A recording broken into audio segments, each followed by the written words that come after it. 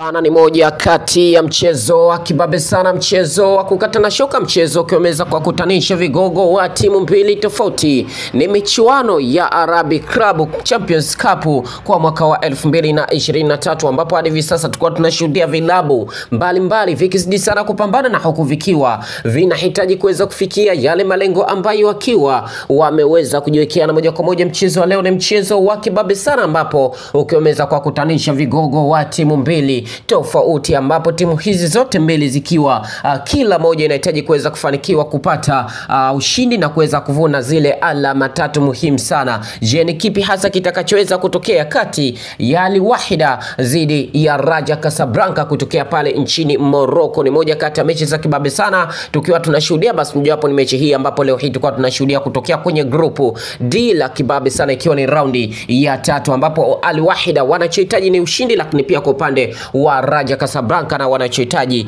ni ushindi, na hivyo basi kila timu imeweza kujiandaa vikali zaidi kuweza kufanikiwa kupata ushindi na kuweza kuvuna zile alama tatu muhimu sana, na hivyo basi tuseme kwamba kila kitu kipo wazi kabisa, ambapo hadi hivi sasa timu hizi zote mbili zikiwa zinafahamiana vikali zaidi, na hivyo hivyo basi tegemee kwamba kushuhudia matokeo mazuri sana ndani ya dakika 90, lakini mechi